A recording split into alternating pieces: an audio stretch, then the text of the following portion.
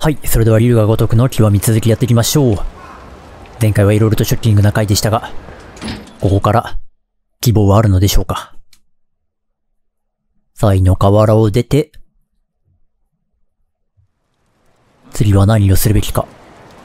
だいぶ復旧してきたか。おう、頑張ってるね。実は私ここに来る前は天下一通りについていました。セレナのレイナさんのこともよくお見かけしていたんです。あんなに若く綺麗な人が私なんかより先にやりきれませんな。全くもってその通りだ。桐生の旦那、お知り合いが二人も亡くなったそうで。うん、その上、昔馴染みも一人行方不明だしな。桐生ちゃん辛いわ。どうしてこんなにも辛い目に遭わなくてはいけないのか。ところで次の目的は、あ、そうか、社員で、あれだね、田中が、キルちゃん。シンジが、あれだね。シンジの彼女に会いに行こうって話か。ところで、真島の兄貴は？声は聞こえたけど、全然見当たらないな。まあ、一緒にすっか。いろんな人がいろいろ喋っておりますが、キャバクラに行きましょう。またあの、なんだろうね、会話パートが来るのかどうか。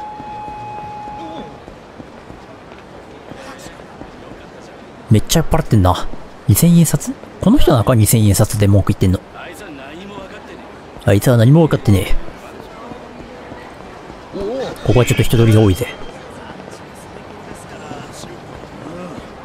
とりあえず行っちゃいましょう。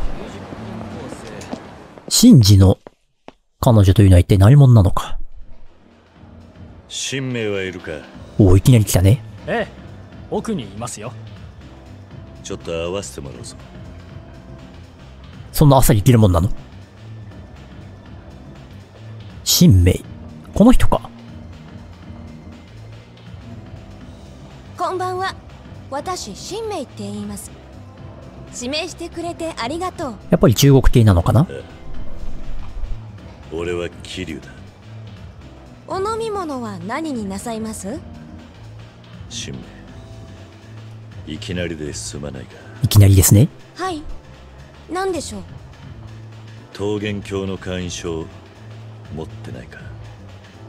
あなたなんでそれを？おっと空気がちょっと変わったな。会わなきゃならない奴がいるんだ。だがもう時間がない。そうですか。でも私からのお願い受けてくれたらお渡しします。なんだ？なんだ？私本当は密入国者なんです。おう。それでこの前警察に捕まりそうになって。このままじゃ絶対に見つかっちゃう。それはなんとも。私。だけ中国に戻ったら弟が弟が一人ぼっちになるんです。弟？こっちにいるのか。何者だ？はい父が日本で作った愛人の子です。訳あって今は私と一緒に暮らしているんです。そうなのか。じゃあ一人でその弟を？これまでにあったやつとかじゃないよな？人弁師って知ってます？誰？人弁師聞いたことないな。この町にいる偽造屋です。へえ。絵画の贋作から偽札偽造パスポートまで何でも偽造できる人。偽造の儀で偽の人弁か。人。弁からそう言われているようです。なるほどね。そこら辺にいるコピー野郎とは違うのか？はい。その人がすごいのは裏の戸籍まで完全に作り上げてくれるって噂です。相当やばいやつだな。大したもんだな。私ここから外に出ると警察に見つかっちゃう。桐生さんお願い人弁士に会って私のパスポートを作ってもらいたいんです。私の代わりに人弁士にお願いしに行ってくれないでしょうか。いいだろおう。う俺もそいつに興味がある。ありがとうございます。本当私嬉しい。でそいつはどこにいるんだ？それがわからんことにはな。七福通りのジュエルってお店へ行ってくださいそこの彩香ちゃんが窓口しているみたいですわかったジュエルか。そっちはどうだ？聞いたことあるかな？いやーでもいろんなお店が、いろんな裏の顔を持っているな。七福通りのジュエルの彩香ちゃんね。うん。なんと恐ろしい世界なんだ。でもこの辺はあれだな。この裏明かりに身を染めたものでないと、できない物語があるな。これ普通にね、正義側の、まっとうな主人公はそれこそ警察のような立場の人間だったら、何言ってんだお前って、ダメだろそんなもんになるんだけど。ジュエルはこれか。でもお店としては利用できない場所だな、確か。入っちゃいましょう。その辺はキリュウちゃんだからこそできるって感じだな。いらっしゃいませお客様彩香さんですね彩香さんご指名入りましたちょうど空いていたらしいですね。てかガラガラじゃねあんまり繁盛してないのか、ここ。こんばんは、あやかです。ご指名ありがとう。今日はどっかで飲んできたの？お酒の匂いわかるんか？いや今日はちょっと聞きたいことがあってきたんだが人弁師ってやつ知らないか。え？何それ？社員でキャバやってる新名の代わりに来たんだ。お？知ってるっぽいな。今、初めて聞いたわよ。え？それ、新しいお笑い芸人？おめえ本当に知らねえのか？あ、わかった新しい詐欺師でしょ。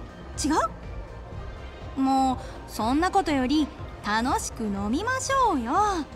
焼酎でいいかしら。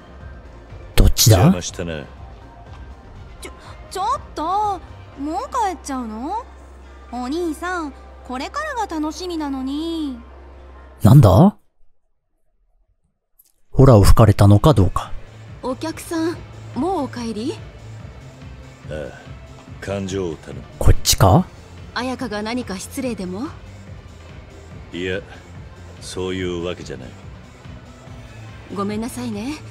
あお代は結構ですよ。だって何も飲んでないじゃない。そんな良心的でいいのか？すまんな。またいらしてくださいね。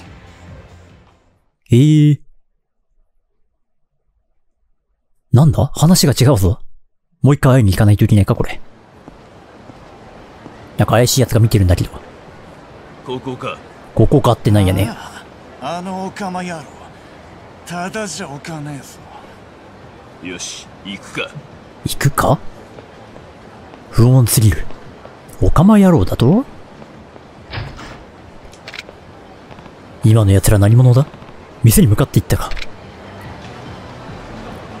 まあ、一見して、明らかにまともな奴ではないのはわかるからな。いい加減白状したらどうだ？怖っ。お前どっから取り出したんだこれ。お前が公園でパスポート渡してるとこ目撃されてんだよ。その時はたまたま彼氏と待ち合わせしてただけって言ってるでしょ？ガタガタ抜かすんじゃね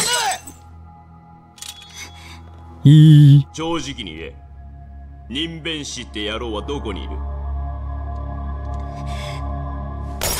わあ。ママが強すぎる。彩香ちゃん早く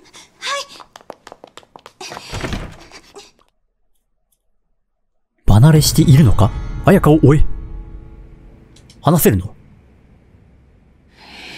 えようやく本性を表しやがったか。第三公園がいつもの取引場所だ。おそらくそこに逃げ込んだな。教えてくれていいのか？あいつら切り刻んでやる。怖いぜ。あいつら切り刻んでやるって言いながらあんなクソでかい刀振り回してる男に、出くわしたらそりゃ瓶の一つも使うだろうよと思うんだけど、本性もクソもないと思います。あれ？雪降ってるじゃないもうそんな時間か。寒いですわ。第三公園ね。第三公園ってどの辺だろう？この辺か。第三公園に行った記憶は？あんまりないと思いきやセレナの近くのあそこか。てかセレナどうなっちゃうんだろうな。あいつは、ちょっとお隣通ります。セレナなそれこそユミがいれば、弓が、あの、受け継いでいくっていうのもあったのかもしれないんだけど、今はレイナさん一人でやってただろうしな。お店として完全になくなっちゃうんかな。キリュウちゃん。声だけ聞こえるけどどこにいるかわからない。またどっか隠れてんのかな悪いが今はちょっと相手してる暇ないんだ。近くにいるんだったら相手するんだけどな。さて、第3公園付近まで来ましたが、え？なんだ？お前の面見てるとムカつくんだよ。えー、なんか急に絡まれたんだけど。またサブクエかなんかか、お前。仕方がないね。はいじゃー。え？なんか来た乱入とかあんの？なるほど。この乱入イベントを紹介するために、わざわざ、生贄になってくれたんだな、あのチンピラは。はいじゃー。顔面パンチ。極みゲージもたくさん溜まってると割と入りますね。空中で溜め、空中で溜めてるのめっちゃ面白いよな、これ。いくぜ。はい。やっぱりこれが一番強いぜ。ちょっと残るかな？あー、残っちゃったこれで止めさせたかったんだけどな。じゃあ、あとは切って終わりだな。ぐえー。ダメ押し。経験値めっちゃ溜まってるわ。さすが俺の負けや。なんであんなの相手までしなくちゃならねえんだ？お前に結果買ってもらうには最高のシチュエーションやないか。そんな、火事場泥棒みたいなことをされてもな。もうすでに喧嘩しとるんやからの。俺に内緒で立ち回ったってそうはいかんで。今度から喧嘩するときはちゃんと俺を呼べや。それは無理があるぜ。この町のチンピラ全員にそういうお達しをしてくれないと困るぜ。普段から準備は万全にしておかないとな。ほんと、こんなパターンまであるんだな。マジでどこにいるんだこの人は。常に後ろに立ってるって言われても納得できるレベルでよくわかるな。ん？いるやばすぎるだろこれ。でもちゃんといるってことは、やっぱりその人弁士を知っている存在ではあるのか？観念するんだな最近どうも偽造パスポートの買い手が減ったと思ったら減ったと思ったら？てめえらがパスポートを横流ししてるらしいなこっちは商売上がったりで困ってるんだよああ、そういう理屈ね。どうしてくれる殺すだけじゃもったいねえ。切り刻んでナマスにしてやる。生すぎるってよくも聞くけど。しかする。とお前らジャカの残党か。あ、そういうこと？まあ確か同じ刀だな。俺もこいつに用があってな。悪いがお前らに用はね邪魔するとお前も細切れにするよ。ちょっと待って！お？こいつどこかで見たと思ったらケリュウじゃねえのか有名人だ。何？桐生だと？お前ら細々とパスポート作りの内職か？黙れ！お前のおかげで俺たちどんだけ苦しんだか！ぶっ殺すぞ！あーん。ジャカに、その偽造パスポートで、なんか取引をしてたっぽいよな。2000万でどうだみたいな話をしていたから、まあそこがうまく取引できなくなって、このジャカも苦労していたってことなのかな？まあその取引に出向いていったのがキリちゃんだからなんか、恨みを買ってるみたいな。あん切り刻まない、切り刻まないでください。痛いだろうがよ、もう。背中からなんか出るぞ、お前。えいえおっと、ザコは行ったか。じゃあ。おこれは熱い頭が燃えていくもっと燃えろ。えーん。お、いけるか？ブラケンなんか首、180度曲がってね。やはりモブはモブだったか。そんな苦労する相手ではなかったね。てかもう、いくつもの視線をくぐり抜けてきてから楽勝な感じがするわ。助かったわあなた人弁士に頼み事があってきたんでしょ？お、やっぱり知ってんのか？本当は騙すつもりはなかったんだけどちょっと試させてもらったわ。なんと。春明に偽造パスポートを作ってくれ。あいつがしばらくこの町で働けるように。分かったわ。ママお願いしていいよね？え？まさか。まさか？その通りよ。さっきのお店で待ってます。お前が人弁士か？なんというか歌掘りみたいなああいうおじいちゃんをイメージしてたんだけど、ずいぶん若いな。一体何があってこの仕事に就くに至ったのかがすごい気になりますが、そこは詮索しないのが裏の者同士の約束だったりするんでしょうかね。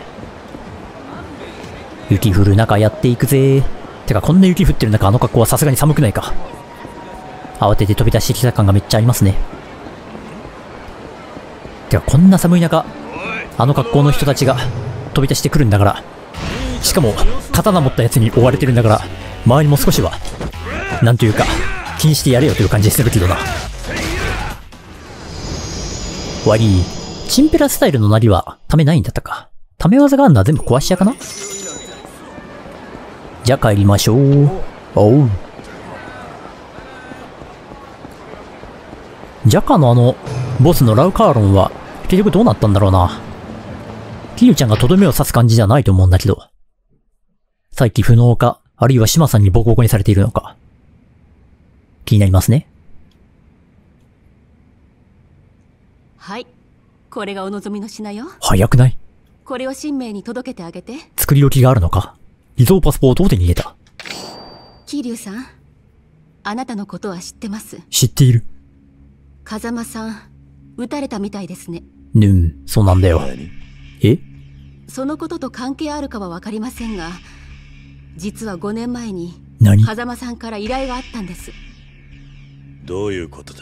話が見えんな。ある一人の人間を捏造してくれって。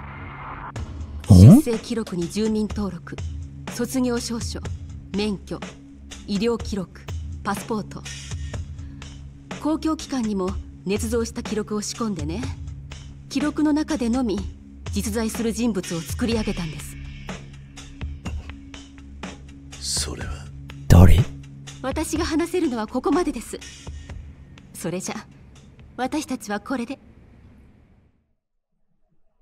ええー、風間のおやすさんが何かをしていた？まさかと思うけど水木か。初めから水木なんて存在していない？ただそれだと、水木の娘であるという遥かの存在が謎になってしまうよな。本当はもうすでにいないんだけれど、偽造して、まだ存在しているかのように見せかけた？とかだったりするのだろうか。でも他になんか、風間のおやすさんが絡んでいそうな、誰か偽造パスポートで存在を作り上げなくてはいけない偽物の存在なんて、いるんだろうか？ぬん。気になるなぁ。その辺は進めていけばすぐわかるんでしょうけど。お邪魔するぜ。こういうお店ってお昼からやってんのか？待たせたな。ずっと待ってたんか。桐生さんほらよほらよ。偽造パスポートを渡した。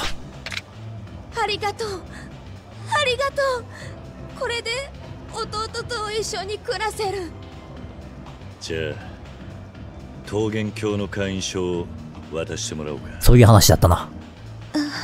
マスカ持ってないのか。どうした？ごめんなさい。桐生さん実はある人に譲ってしまったんです。それはないぜ。何？なに騙すつもりはなかったんです。本当です。信じてください。それじゃあ筋が通らねえぜ。誰だ？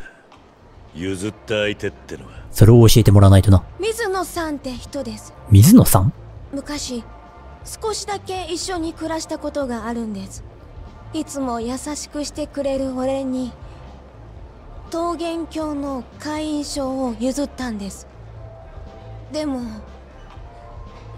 私が言っていたって伝えればきっと譲ってくれると思います。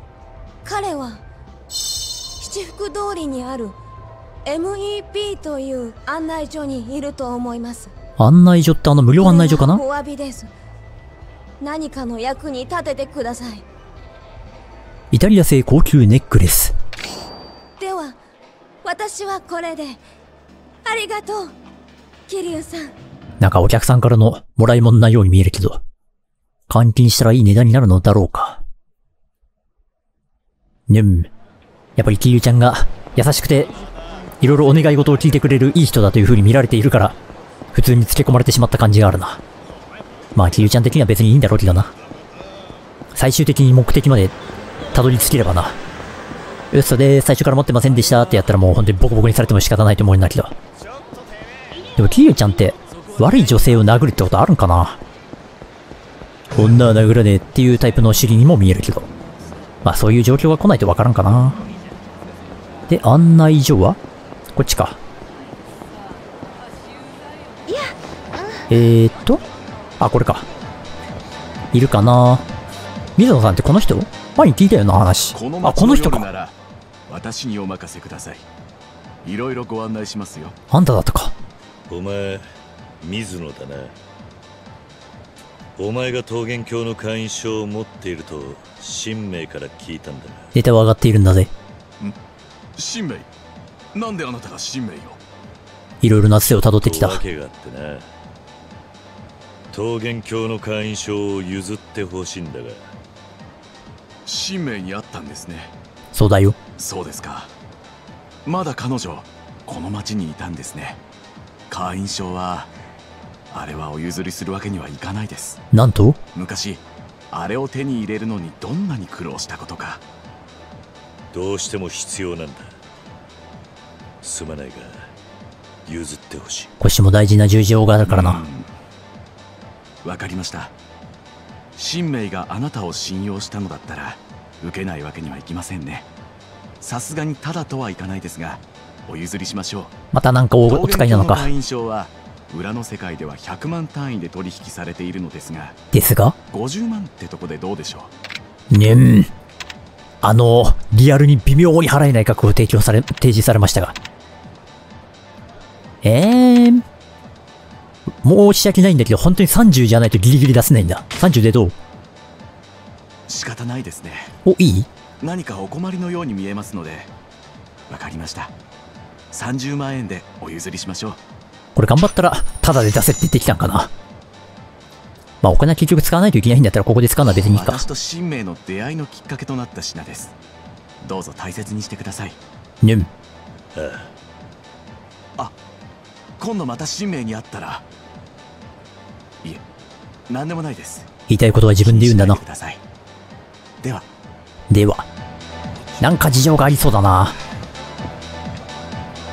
うん。なんというか自分が使うから渡したくないという感じじゃないんだろうけどな。同点落とし。謎のカードが。金が入ったら通りに行く。いや、絶対に行く。行くぞこんな話をしているということは意外と有名なのか、通りにというのは。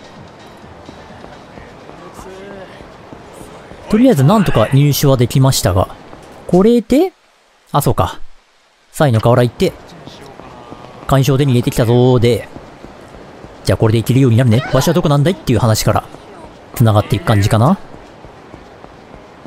とりあえずもうチンピラは、雑魚はいくら相手しても、大して嬉しくないので、本当によっぽど回避できないか、むしゃくしゃとした時にだけ相手するようにしましょうかね。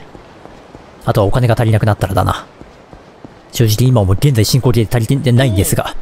でもあれか、イタリア製のネックレス売ったらもしかしたらいい値段になって、それでいけ、あー、たのかもしれないか。ちょっと待って、怖いんだけどこれ。今すぐ逃げるや。ピールちゃん、お前妙な連中に狙われてるで。俺がお前をずっと見張っとるとき、いつも近くで見かける奴らがおるんやけど、今日はシャレにならん人数揃っとる。このままやったらお前もジョーちゃんも大ピンチや。そいつらを巻くええ方法がある。公園前でタクシーに乗ってくれや。怖すぎるんだけど。いつになく神妙な言い回し。まだ通りに境が開く夜まで時間があるし、兄さんの指示に従ってみるか。これは素直に従った方がいいでしょう。ん？あんたキリュウさんだろ？ええ話は聞いてるよさあ乗ってくれ。真島の兄さんとんでもないサイコパスなんだけど、こういう時はすごい役役に立つと言ったらあれだけど。とても頼りになるな。どこへ向かうんだ？あーい、兄さん。むしろあんたの差し、差し、差し金じゃないといいんだけど。汚い理由じゃん。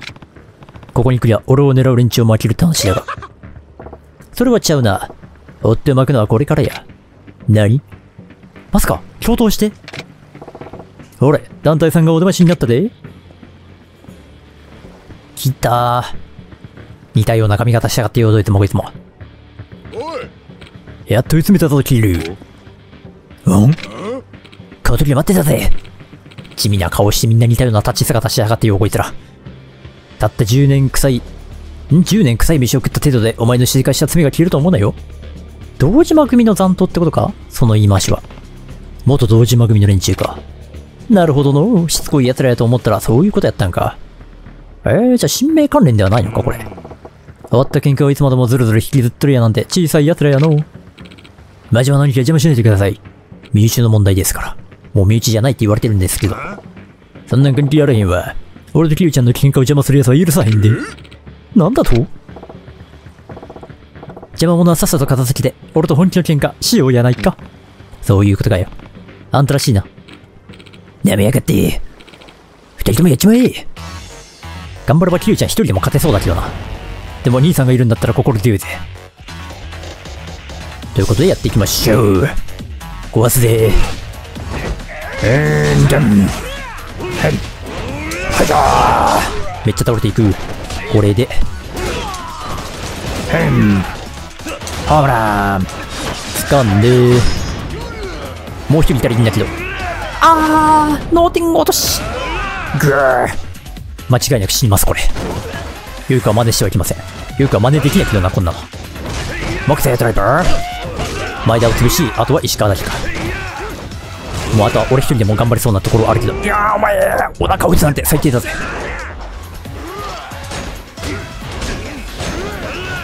真島の兄さんに対して、ひどいことをするんじゃないぜ、お前。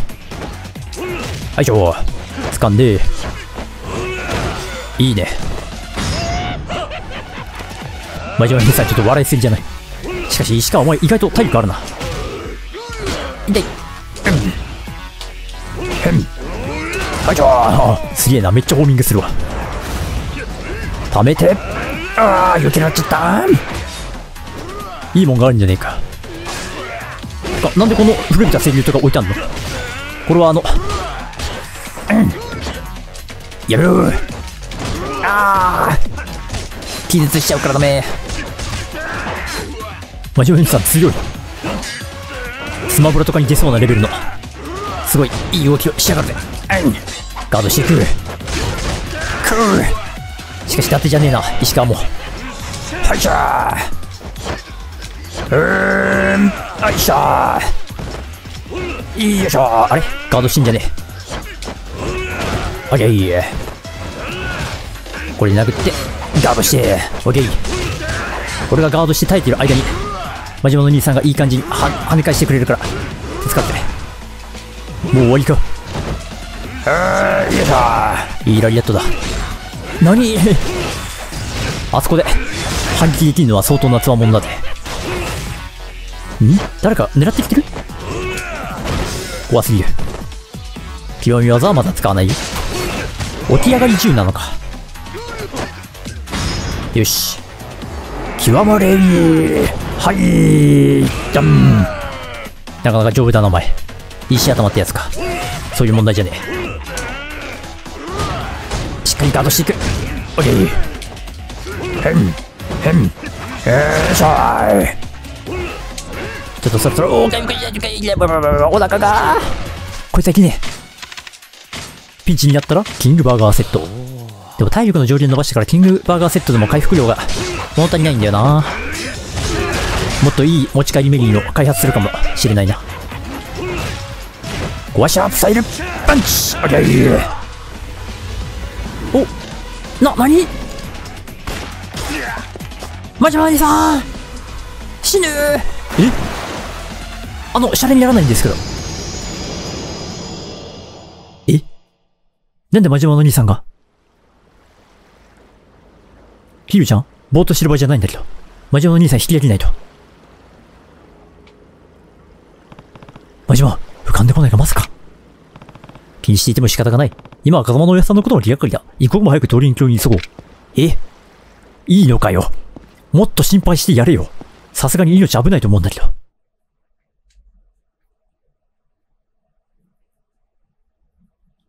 ん？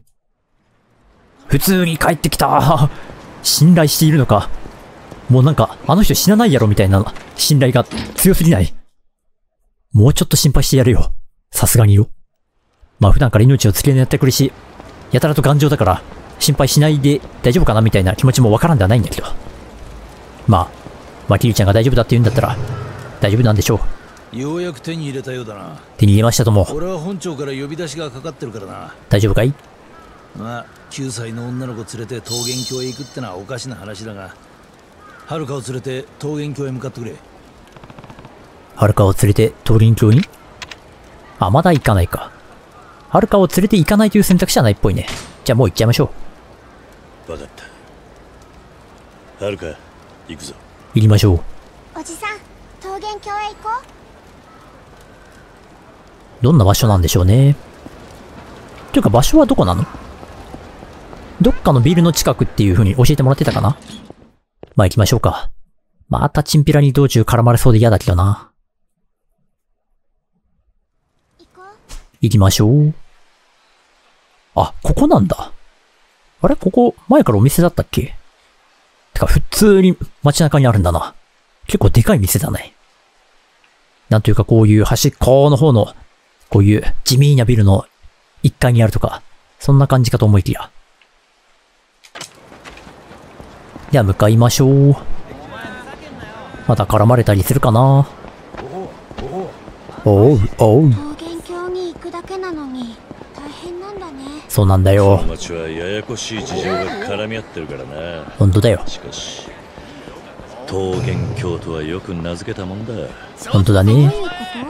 桃源郷っていうのは簡単にたどり着けない楽園の名前だあ、てかこの辺だったか。とでも楽園なら風間到着しました。会話途中だけど。ここかここだったんだな。果たしてどんな場所なのか。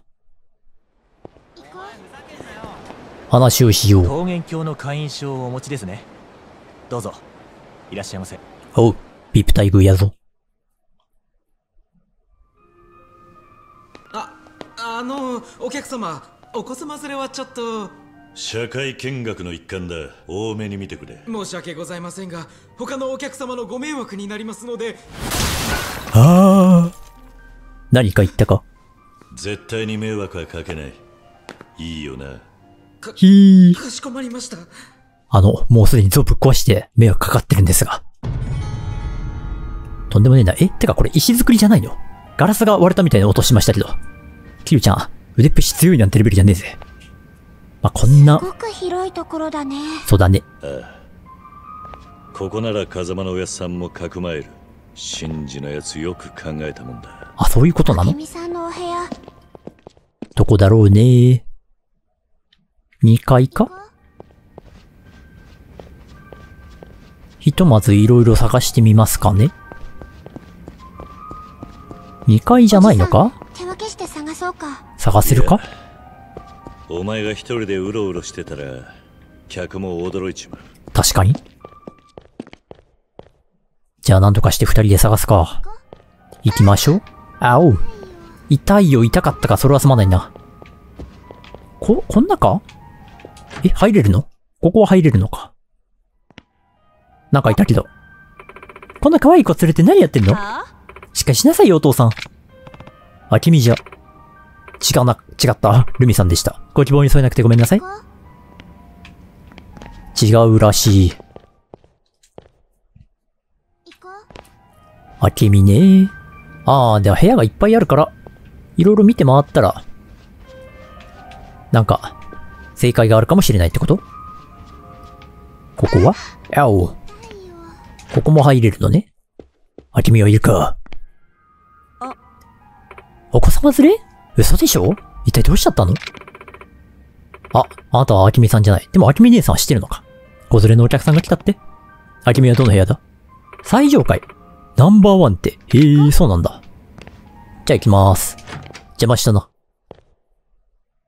お子様連れで、ソープで社会見学は相当やばいよな。マジでそういうことを言ってくるヤクザのあんちゃんいたら、何考えてんだこいつって、わお。思いますけど、当店ナンバーワンね。ちなみに最上階ってどこ？何階が最上階なのかがその時点で分かってないんだけど。でもちょっと待って。これ、扉が赤い。ってことはここじゃない？入っちゃいましょうか。おじさんここじゃない？そうだね。扉が赤いからね。ちょっとゴージャスだし、やっぱりいい部屋で待ってるってことなんでしょうか？いらっしゃいませ。明美です。あけみさんだ。桐生だ。シンジから聞いてないか？どうだ？桐生？あなたが？ああそれじゃあしんちゃんはもうそう最後に会った時から言ってたの。自分にもしものことがあったらあなたが訪ねてくるかもしれないって。いつもふざけてたあの人が急に真剣な顔してね。そっか。しんちゃん死んじゃったんだ。おかしいと思った。だってねあの人急に今やってることが片付いたら結婚しようなんて言ってさ。すまない。いいの。私の方こそごめんなさい。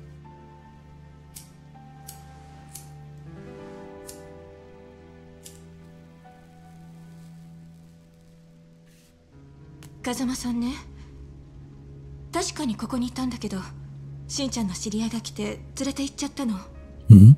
誰だ？近江連合の寺田さん。ええ近江連合？そいつは本当にシンジの知り合いなのか？うん。しんちゃんは信頼してた。だから私も。場所は？芝浦よ。不当に止めた船に連れて行くって言ってたわ。そうか。それともう一つ。んしんちゃんこう言ってたわ。錦山組は100億の他に世良会長の遺言状を探している。遺言状？それに次の4代目が指名されているんだって。遺言状？そんなものが。それじゃあ錦はそいつを握りつぶそうと。しんちゃんはそう言ってたわ。え？何？何だよ、本当に。桃源郷襲撃ですか、これ。どういうことなんですか、兄さん？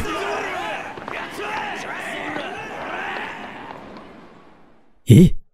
真島の兄さん主導してない？何事なんや？どういう状況なのも？おじさん本当に何なのだよ、これ。外へ移動しますか？移動しましょう。よし、移動しよう。もう外は地獄か？早速いるよ、早いよ。ロビーへ向かえ。とりあえずこいつらボコボコにしないといけないか。そっちだーよっ。よいしょー。掴んで。よいしょー。お、3人まとめていける？圧倒的。はい。うーよいしょー。いい火力。はい。次。よいしょー。あとお前だけいっちゃいや。お返しするで。お返しするで。ダメでした。おっと？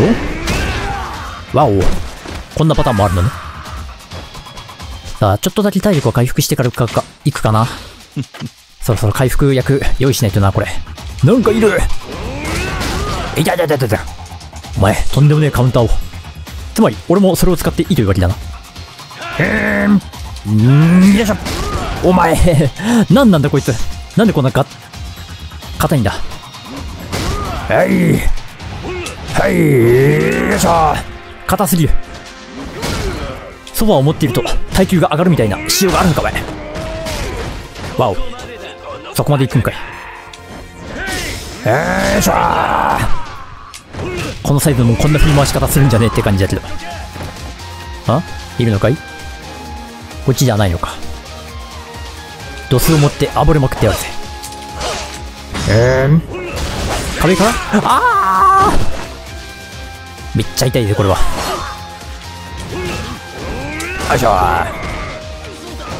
おっと？ビビってんのかい？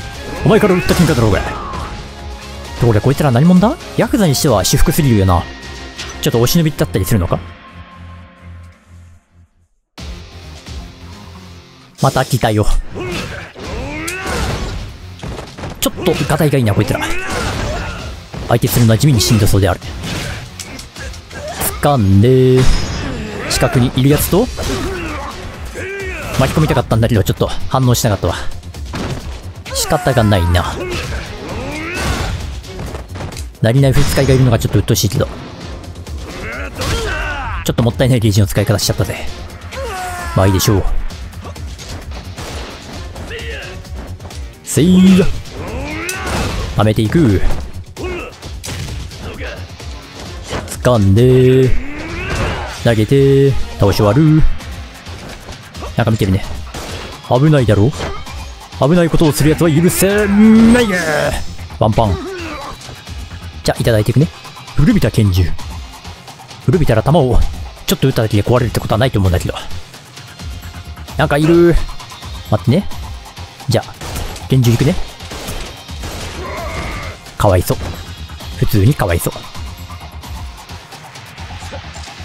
おっとっとっとっとっとっと。何？とんでもないことをするね。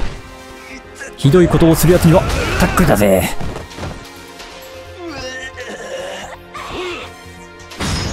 またこっちやっちゃっても。なんかとどめを刺そうと思うと、ついついオーバーキルしてしまうな。古びた拳銃。お、これでロビーか。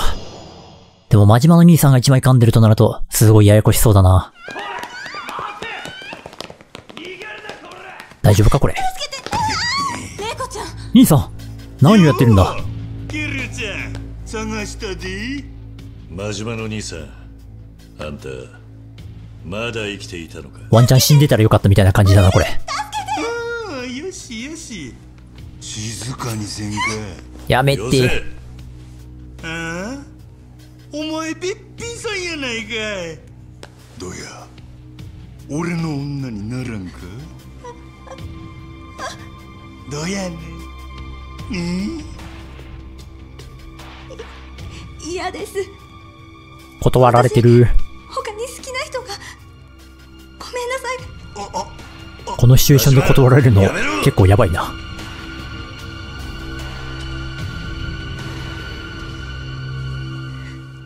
そうか。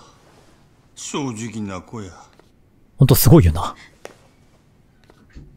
え？それで？ほれここ危ないで。はよ行き。ほんと何考えてるかわからん。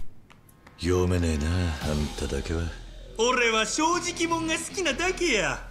人の顔色伺ったりせんと俺がそうやからなそうかいこの間いいとこで邪魔が入るよったここで蹴りつけようやないのキルちゃんやねん。あそこで、は、はい、仕方ないから、あなたの女になりますみたいな、そういう流れだったらもう切り刻まれていた可能性あるの。怖すぎるだろ。細い勝ち筋を、なんとか、手繰り寄せたって感じだったのかもしれないね。真島の兄さんの機嫌取るのほんと難しすぎるだろ。よいしょ。やめて。真島の兄さんのナイフいつも光ってんだよな。怖すぎる。はい。はい。はい。掴んで、とりあえず投げる。投げた後、これを拾って極み技。はい。いいダメージ。極み技はやっぱこれで稼いだ方がいいな。掴んで、あん、あん。やめてーすごい来やがって。ラッシュだね。はい。待って、いけるかダメだった、こっちにやっちゃった。オラオラダッシュしたかったのに。え、なにえ、何の揺れ？やめてあーえー、怖すぎるでしょうかぐ、うえー。痛すぎるし、何なんだ真島の兄さん能力者だったのか、お前。まあ、キリュウちゃんと対等に渡り合うレベルの人たちって、これぐらいのことはできてしょうが、できて当然なのか？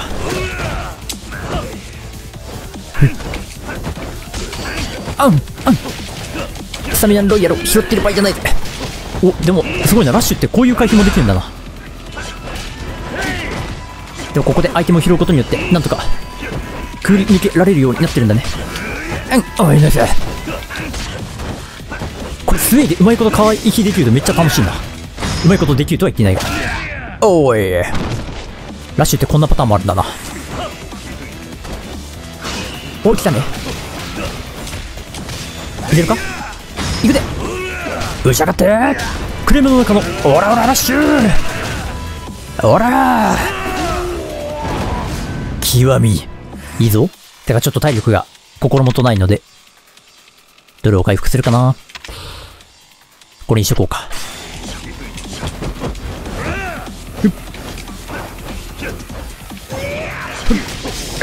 はい。顔面ゲージこんだけ使ってこの火力っていうのはもったいない。すぎるな。おっとまた来るか。行くぜ。オラオララッシュ逆にゲージ少なくてもこの極みラッシュだとめっちゃダメージ入るんだよな。よっしゃ。なんとかなったぜ。ケリュほんまガツいねお前が。グーようやくくたばったか。でもまだまだ因縁は続きそうだなあの女が明美か。あシンジの骨かこれ。辛いだろうな。だってさ風間のおやっさんの居場所が分かった。どこだ？芝浦の不当だ。近江連合の寺田って男がかくまっているらしい。近江連合だと？なんで奴らが風間を？分からんがシンジが命がけでおやっさん預けた相手だ。信じるだけの価値はあるそうか。桐生 MIA が神宮が目立って動き始めてる。さっき本庁に呼ばれてお前のことを根掘り葉掘り聞かれた。おそらく神宮から圧力がかかったんだ。大丈夫なのか伊達さん。逆だ。クビになってもおかしくねえのに奴ら俺がお前とつるんでるうちはクビにできねえんだよ。おん？行くんだろ桐生芝浦にああ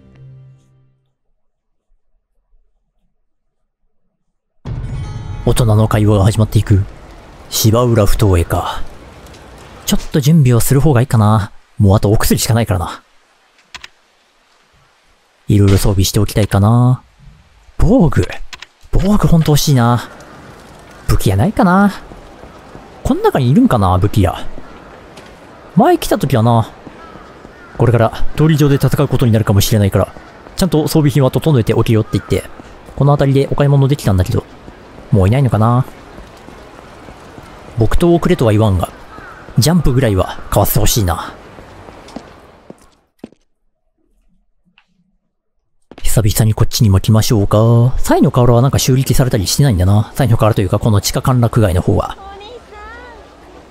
今までと一切変わってない感じがしますね。武器屋もないよな。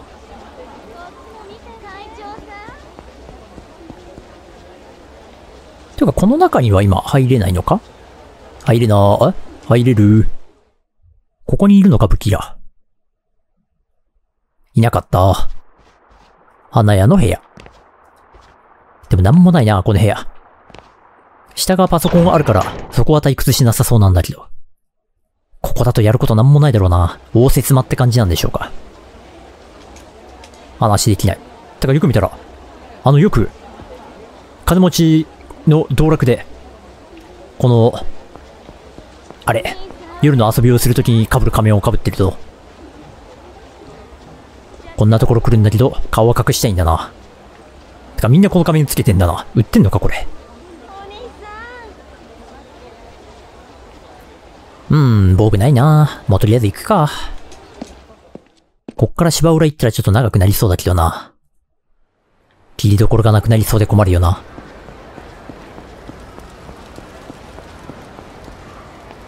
ワンコー。かわいいワンコだな。くーん。怯えられてる。なんか加えてるように見えたけど気のせいか。なんか口を開けてるだけか。え？てか向こうにもいるやん。そしてなんか餌撒いてるし。おおてかなんでみんな犬飼ってんの？ちょっと、え？犬多すぎじゃない？流行ってんの？おおすごい。みんな犬大好きなんだな。この犬たちも行き場をなくした犬だったりするんだろうか。てか、この人も犬飼ってるし。え？なんなのこれ？よく見たら犬だらけなんだけど。ワンコ好きには天国か？なんかおとなしいし、可愛いな、みんな。犬ってなそう簡単に懐かないと思うんだけど。割となんか仲良くなれるだけの事情があったのかもしれないね。あ、武器あるやん。お前だよ。いらっしゃいお前の話が聞きたかったんだ。武具を購入するよ。この辺が、えー、ポケサーのやつだからそっちじゃないやつね。メツキングってゲームで使う昆虫カードらしいぜ。世界最大の蝶。えー、アレクサンドラ・トリバネアリアハ。まあ、大体動物の森に出るかどうかで知名度は変わるが。技カード。1万。ダブルドロップ。反撃回復回復。漫画雑誌。腹に装備すれば防具になるぜ。一応買っとくか。ああちょっと待って。そうだった。まとめて購入できるから購入するを選んだ時点で一旦戻るんだったな。お金がちょっと少ないが、快適ソウル。これ使い道あんのか。ハイテクアーム。物を投げた時の威力がより上がる。あーん、刃物を防げる。でも高いな。8万リサもすんの。防弾ガラスの守り。銃弾耐性が上がるちょっと欲しいな。立ち止まることないよな。癒し効果か。角材、鉄パイプ。古いスタンガン。え、電気流れないの？これはハードオフとかで売ってそうなやつだな。殴るな危険。ロング角材。ぬるぬるスプレー。食塩。目つぶし用なんだ。食塩200円ね。マスターボール。うーん、防具系意外とないな。防弾ガラスの守りだけ買っとこうか。割と銃撃たれて困ることあるからな。では装備をしましょう。武器はともかく防具だったら、あ？あ、これ防具じゃないんだ。アクセサリー枠か。ってことは俺漫画雑誌しか持ってねえじゃねえか。腹にジャンプを入れておいたおかげで助かったぜという状況を今後、作り出していきましょう。それじゃあちょっと、えー、芝浦の不当へ行く前に、ちょっとだけ時間を潰したいので、まあ、チンピラに囲まれに行ったりとか、アクティビティをやったりとかで少しだけ時間を潰そう。で、終わったらその後、次回、芝浦へという感じで行きましょう。この間はやたらと、わお、またかい。やたらとね、あの、女性が絡まれているみたいなシチュエーションを見かけていたんですが、なんか無視したら、誰もいなくなってしまいましたね。無事解決したんでしょうか、あれは。コインロッカーの鍵拾ったりとか、こんなところに、エスキングのカードがある。焦らせ。技を出すにはじゃんけんで勝つ。いまいちよくわからんが。真島の兄さんはいるのか？ていうかまだ絡んでくるんだな。本当に永久にいなくならないんだろうな、あの人は。チンピラなちょっと絡まれてやってもいいよって思うと誰もいねえんだよな。おお。こいつチンピラ？あ？こっちか。普通にしてるだけなんですが。よいしょよいしょはいラッシュ系は攻撃がスマートでいいですよね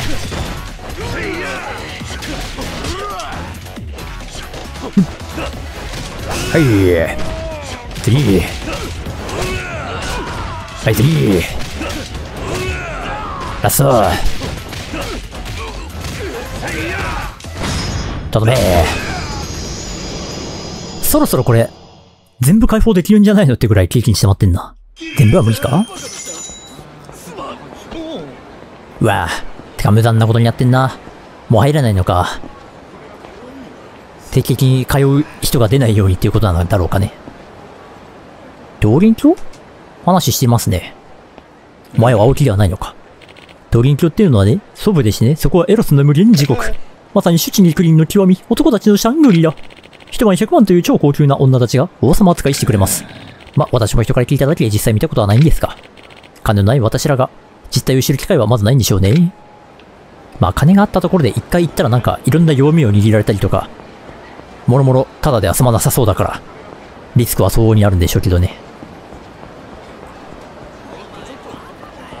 チンピラは、お、いるっぽいな。おう。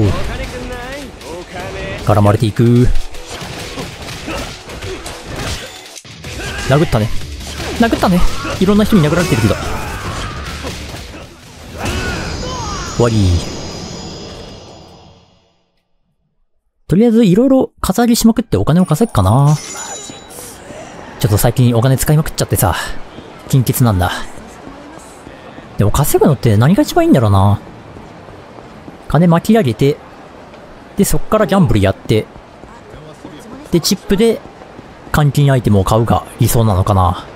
なんかそれよりもひたすら、そのギャンブルで一旦お金を溶かすっていうターンを減らして、ひたすらカツアゲするのが一番いいような気もするけどな。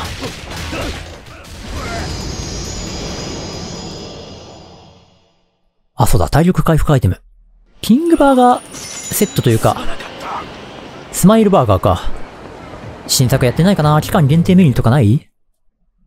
ソルトレモンとか、照り焼きマックバーガーとかないのかい？照り焼きマックバーガーというか、照り玉とかないかい？持ち帰りだ。メニューになります。変わってないなまあ一番高いやつにするか。キングバーガーセット。え？ご一緒にマジマンいかがですか？なんでいるの？何？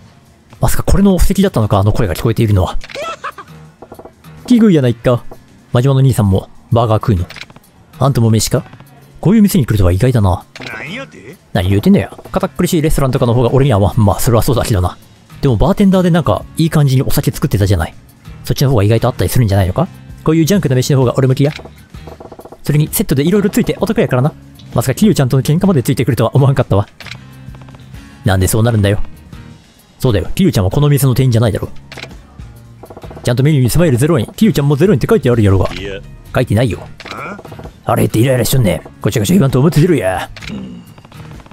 テイクアウトされちゃった確かにね、お店に迷惑かかったら出禁にされかねない。キングバーガーセットを買えなくなるのは非常に困ります。ということで、お外で喧嘩しましょう。お外で喧嘩するんだったら出禁にはしなくていいっていう流れはないと思うんだけどな。なんか今回すっげえ真面目の兄さんと戦いまくってる気がすんな。はい。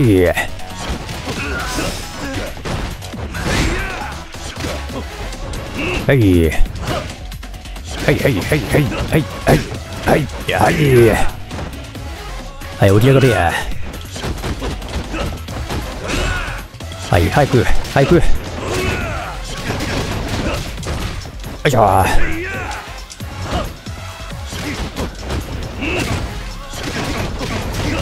壁雨だ。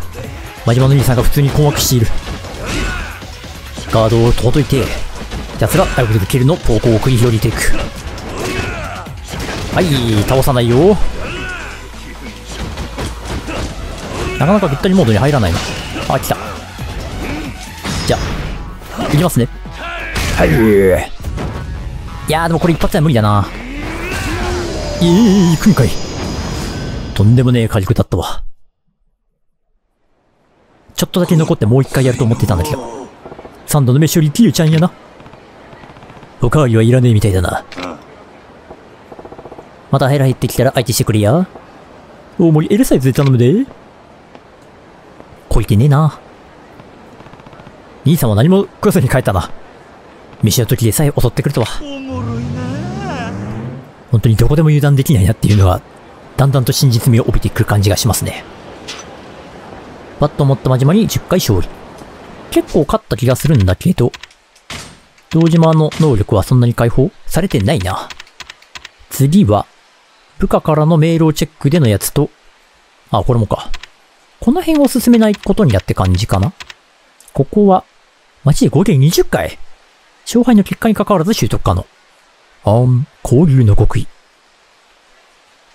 ヒート状態かつ体力少ないと攻撃力増加。なるほどね。この辺も進めていきたいところではあるが。因縁ランク D。まだちょっと遠いかな。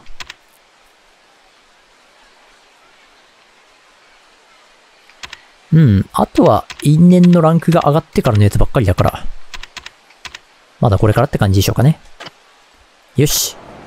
ではまあ、いろいろと時間も潰せましたし、次回、芝浦に向かうというところで、今回はここまでにいたしましょう。はい、ありがとうございました。